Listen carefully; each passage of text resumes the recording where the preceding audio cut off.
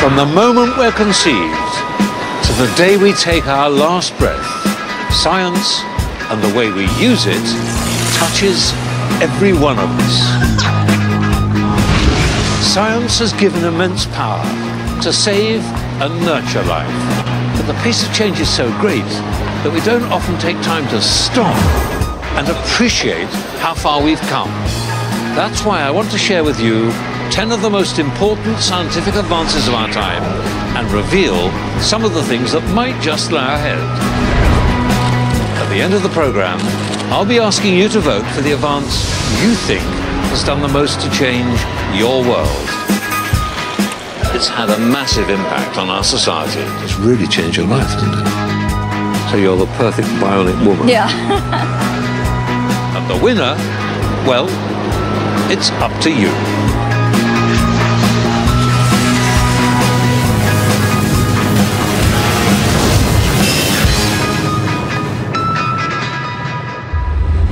It's one small step for man, one giant leap for mankind.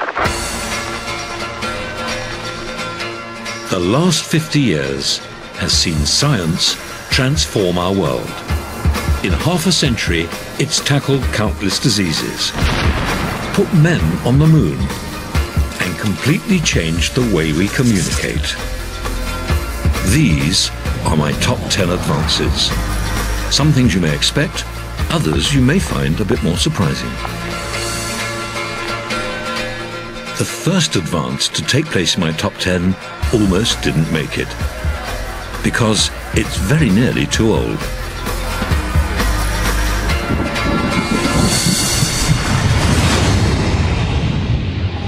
There are some women who prefer at least to pretend that they're not interested in it and who like to be approached by the man. But for all its great age, it's made a lot of people extremely happy. How I lost my virginity. God, my, my mother, when I had a fit, we had a race, me and this girl, to see who could have it, have it off first. It was terrible. But uh, we were having a wonderful time. She's got it. When I was a medical student, which is longer ago than I actually care to mention, there was a revolution which some people claim transformed our society. It was, of course, the contraceptive pill. In 1961, the pill was released in Britain. The day is printed by the side of every pill, and providing she can remember what day it is, a woman can be quite sure whether or not she has taken today's pill. The manufacturers do their best to make them foolproof. They don't want to lose their reputation over what might be called pilot's error. Today, we take it for granted. But for that first generation, it was revolutionary. I was a student teacher during that time, and uh, it, it got round in college uh, that uh, there was a certain doctor in Doncaster that would give the pill. And uh, so we all made a beeline for that. Interestingly enough, all of the patients, or we were all, we were all called Mrs. you know, if you were called in, when you were called in to see the doctor, you know, you weren't Miss, even there. We knew that there was one private clinic, except you had to pay for it, so I had to take a paper round. The pill exploded onto the scene at a time of great social upheaval, and itself became a huge part of that change. She's got it. I felt quite liberated. Just to be free of that fear of becoming pregnant was amazing. I was aware that I was taking control of my own life. There was lots of things in the newspapers about, you know, the pill and, oh, and it'll make women tarty and everything, you know. I mean, uh, it wasn't like that for me. I could plan my children and my career, which was so important to me. But what nobody foresaw was that the pill meant that more women have tended to leave childbearing later and risk infertility. But that freedom to plan has, on balance, changed most people's lives for the better. And for that reason, the pill has to be in my top 10. It's tiny, but it's had a massive impact on our society. Its liberating influence has been one of the most important advances in the last 50 years. Just as the pill transformed women's lives in the 1960s, science is changing our relationship with contraception again. Bill and Rachel are just about to start a trial for a new contraceptive that doesn't need to be taken every day.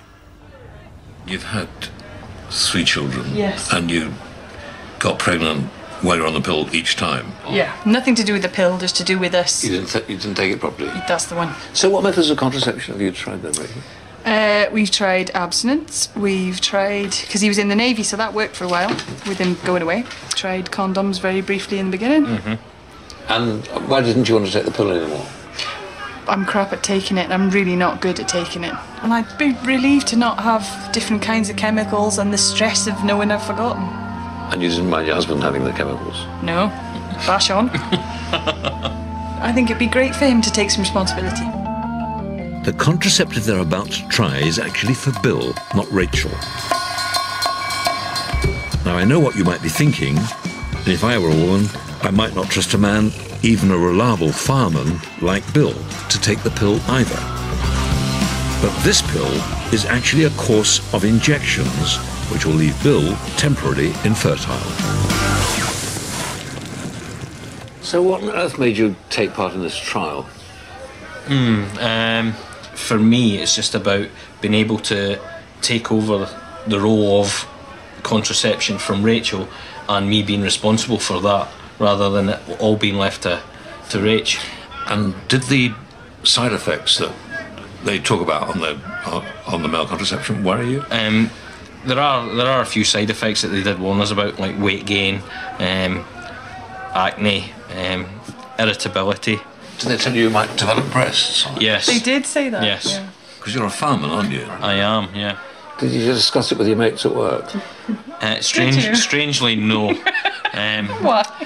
I mean, the ribbon I'll get. Never mind. Because it's a really macho thing, isn't it? Mhm. it, it is, I suppose. It's fertility at the end of it, and a guy like, yeah, you know, I'm, I'm really butch. And do you understand the science of how it actually works? I don't. Would you like to know? Yes, please. Right. Let me explain it to you. It's actually quite surprising, and in some ways, it's not dissimilar from the female pill, the oral contraception that, that women take. And essentially, it really works in the brain. So if this is a body, the brain sends out a signal to make an egg or make a sperm. Mm-hmm. Okay. Now, the pill is a hormone essentially which inhibits the brain by telling it the egg's already being made mm-hmm. when it's not being made. Mm-hmm. So the brain thinks that the woman's ovulating, so it stops sending the message. Okay, and that's exactly actually what happens with the male contraception too. So if you're given the male hormone, okay, that tells the brain I'm making lots of sperm, so it just shuts down. Yeah. So it's quite an elegant idea, um, and that feedback is um, one of the most, I think, interesting examples in, in biology of how the body works.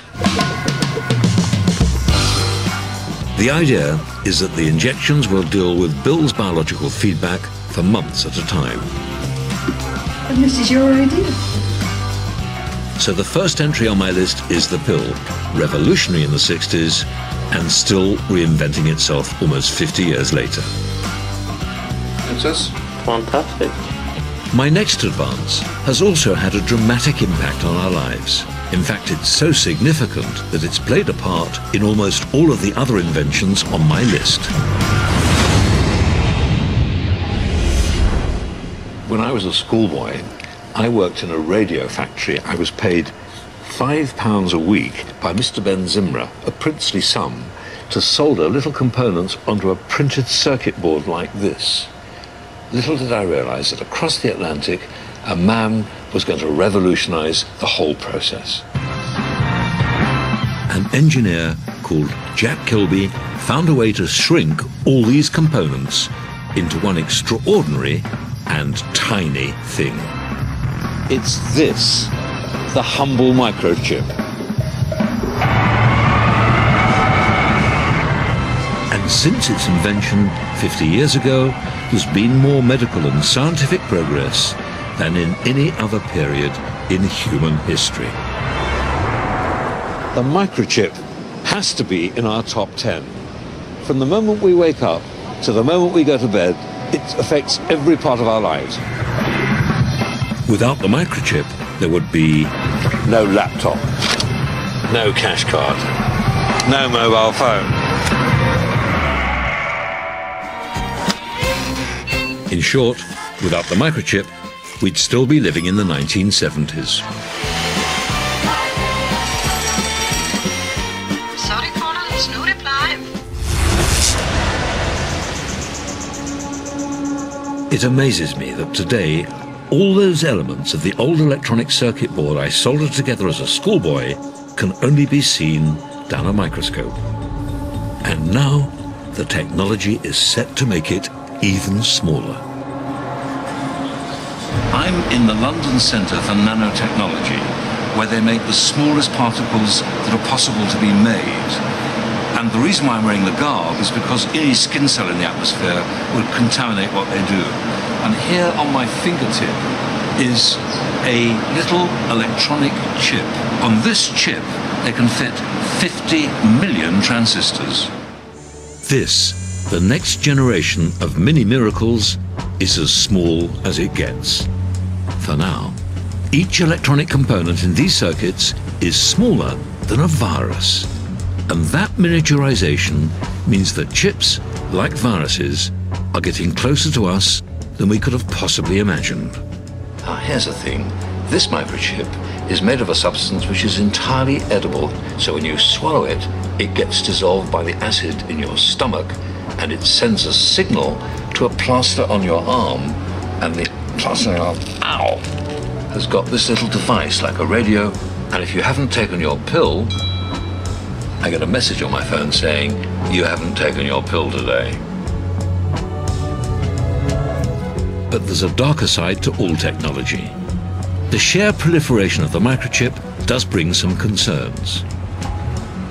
It's worth considering that within 50 yards of where I'm standing, in Piccadilly Circus, there must be at least 50 surveillance cameras recording every movement we make, amassing a huge amount of data over which we have no control. How we deal with these issues is an increasing challenge. Storage of personal data is largely unregulated, and fraud, theft, and loss of privacy in the virtual world worries many people. But in spite of all this, the chip is on my list. And we shouldn't forget that without it, many of the other advances wouldn't have been possible, including this next one. At number three of my list is a device in whose story I, or rather my rabbit Wilhelmina, played here by an actor, had a starring role. Well, a role anyway. I met some physics friends in the bar having a beer one evening, and they said, Look, we've just built this machine with lots of wire and string and sealing wax and an old television screen, and it's called a magnetic resonance image machine. And would you like to put your rabbit in it? So we went down to the sub basement of Hammersmith Hospital and we put Wilhelmina gently into the machine. I was a bit worried about it. And then after 20 minutes of cooking, we got a photograph. And it looked a bit like this just a blur.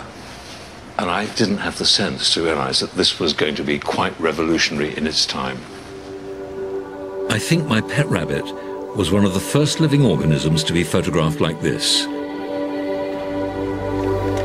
And the technology, which was then in its infancy, went on to become the MRI scanner. For much of my career in medicine, X-rays were the most effective way of looking inside the human body but they didn't give a particularly clear image of all the organs beyond our bones. MRI scanning changed all that. Engineers first used MRI to look inside metals. Now we're able to see directly into living tissues, and that's given amazing new insights into the most complicated organ in the human body. I find it really rather humbling that this space, this inanimate object, this brain was once the place where somebody felt angry, felt sad, and loved. And the extraordinary thing is that until quite recently, we had no idea how it was really working.